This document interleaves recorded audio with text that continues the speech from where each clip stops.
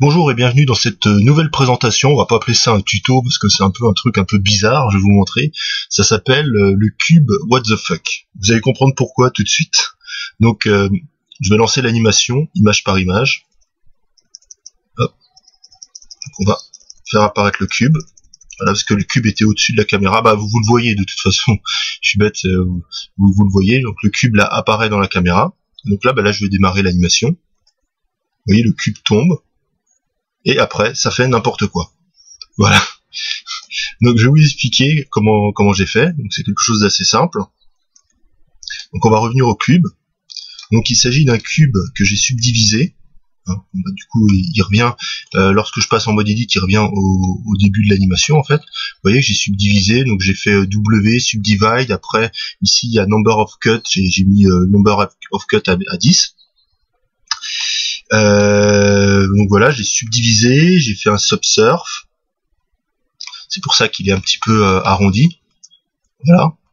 C'est parce que j'ai utilisé et j'ai utilisé le cloth euh, modifier et un solidify avec une épaisseur assez importante.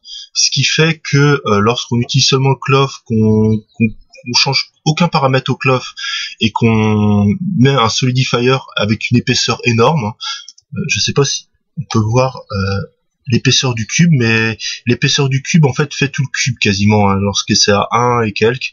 Je crois que l'épaisseur du cube fait tout le cube, donc euh, bah, on peut peut-être voir ça. on va supprimer on va supprimer certaines faces ici afin de pouvoir le voir, on va faire X delete euh, face. Ah non, en effet, non, ça fait pas du tout tout le cube, mais l'épaisseur est quand même importante, et lorsqu'on met une, certaine épaisseur comme ça au cloth modifier, bah, ça fait un peu n'importe quoi, comme vous avez pu le voir. C'est sûrement un bug. Donc là, on va augmenter encore l'épaisseur. Là, là, ça crée des collisions, vous voyez, entre les... Et lorsqu'on a cette épaisseur-là, et qu'on relance vue caméra on relance notre animation. Il faut la relancer depuis le début, voilà. Et voilà, ça fait encore n'importe quoi.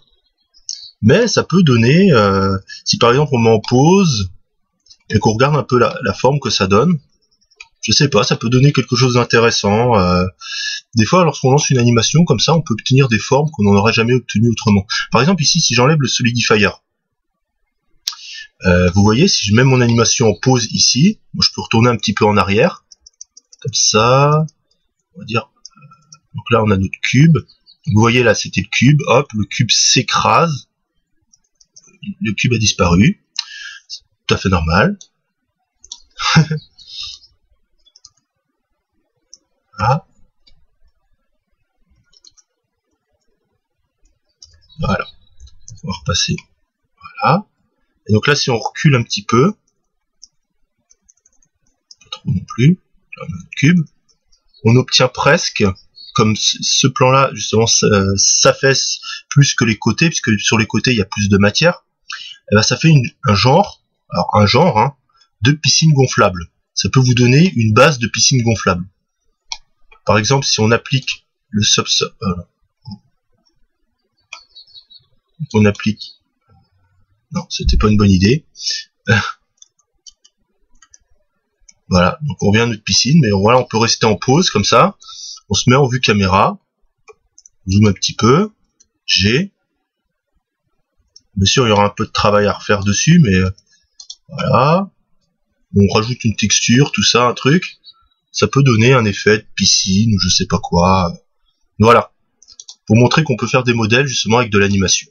Donc voilà, j'espère que ce tutoriel un peu, enfin cette vidéo un peu bizarre vous aura plu. À très bientôt pour une prochaine vidéo.